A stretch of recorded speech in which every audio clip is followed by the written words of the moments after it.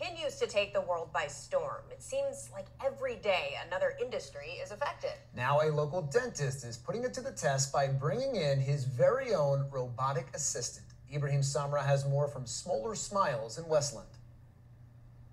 It's the only dental robot in the area that performs on patients. So patients. this basically will allow us to link the robot to the patient. And it sits right here next to Dr. Bruce Smoler.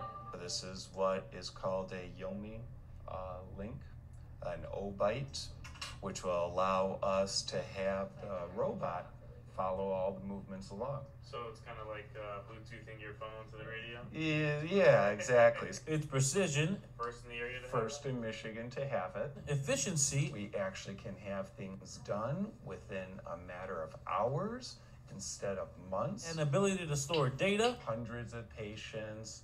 has made life easier for Smoler. The Yomi dental robotic device, uh, the system is just a godsend for patients who want a procedure done more precisely, uh, quicker.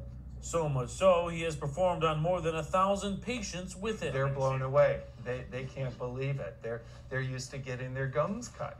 They're used to getting their gums peeled back. They're, they're used to getting stitches. While the robotic assistant may be relatively new to some folks, it's been FDA approved since 2017. So why is Smoler the only one around using it? In, in every field, from broadcasting to dentistry, there's something called stinking thinking.